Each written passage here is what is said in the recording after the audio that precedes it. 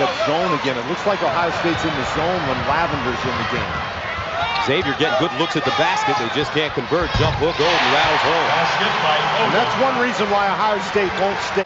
Oden does a great job getting position inside, and then you can't double team if he's going to shoot that jump hook the amount of space. Watch over here on this side of the court. Just two players. Butler throws the ball inside to Oden, and watch how he moves. He moves away from the play so he can get the pass back, and the man can't recover quickly, and he gets a wide open three. So Greg Oden will take a blow. Terwilliger, now Oden inside. Turn around, jump shot, no good. But he's fouled on the play. If you're going to double team Oden or any other big guy, Gus, you got to get there before he dribbles the ball. You can't be slapping at it once the ball's in his hands after the dribble. For Greg Oden, he can use his right hand or he can use his left hand. Pretty efficient with both as he... Before August of this year, and yet he was able to do it well enough that he got shoot 62% with his offhand. Great rotation. Nice look, Duncan, and he missed the layup. That's the presence of Greg Oden right there. He caught the ball and he was thinking, where is it? Butler from deep.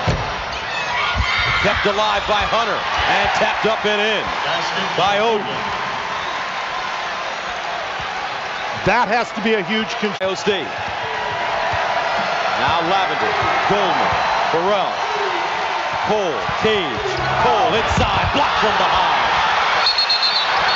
And they will tie it up. Possession arrow favoring the Buckeyes okay, maybe it's not a good idea to attack Oden inside. Here they try to do that. Pass inside and a very quick move by Cole. I'm sure he thought he had room, but that's why Oden is back there in the center of that zone. Much different than he played in the first half. Doellman has a very nice mid-range jump shot. Oden, great catch, and one. And now Oden directing. catches the ball inside, goes right over Oden. You cannot play in front of Oden. That's an excellent pass inside. Now for Xavier with both Duncan and Doellman on the bench. Some outside scoring power gone. Lavender leaves it inside. Rejected by Oden. And Oden comes up with the rebound. Here come the Bucks. Butler. The mighty Oden taking over. He is such a force on the inside. Now that time Lavender thought he had Oden. Oden came to him, but did you see how quickly Oden came down, turned around, blocked the shot, then he got... Butler, Oden. and one.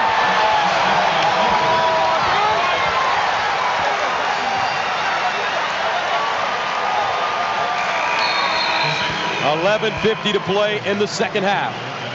Ohio State takes a 40-39 lead. Greg Oden going to the free throw line right after this.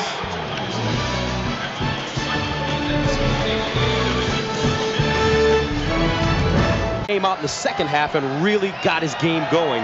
Right now, he's scoreless. Justin, our number one team in the South is on the ropes. We'll see what they're made of right now. Lewis, short, With the rebound, and he sticks it in. There's plenty of time left. Ohio State does not need to force. They work the shot clock down. Pick and roll.